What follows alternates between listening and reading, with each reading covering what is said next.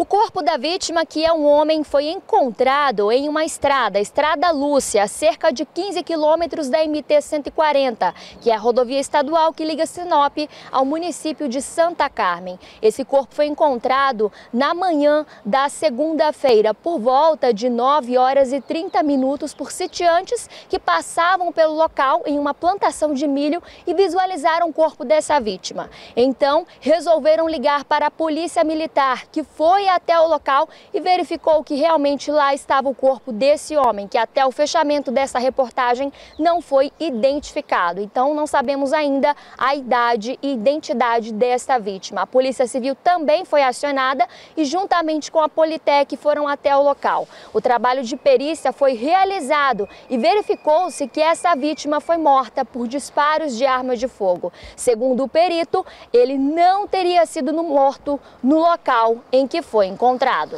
O local onde estava esse corpo, muito provavelmente é uma desova dele.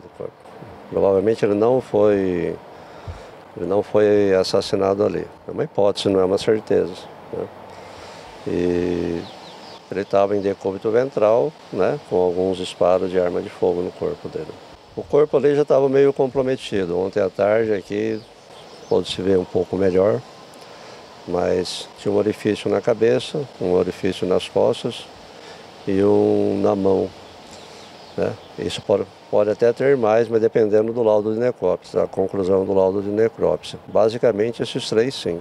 Esse homem, é, o corpo dele, devido ao estado de decomposição ou rigidez, foi verificado a mais ou menos uma média de quantas horas ele deveria estar morto?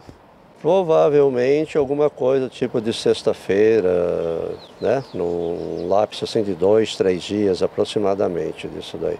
Ele foi encontrado na segunda de manhã, né? A estimativa é que retroagindo até uma sexta-feira, provavelmente. O corpo da vítima, que até amanhã desta terça-feira permanece sem identificação, continua aqui no IML de Sinop, aguardando uh, familiares e pessoas conhecidas que possam ajudar nesta identificação. E a partir de agora, a Divisão de Homicídios e Proteção a Pessoas irá investigar o caso para tentar descobrir quem são suspeitos ou suspeitos de cometer esse crime para que possam ser presos.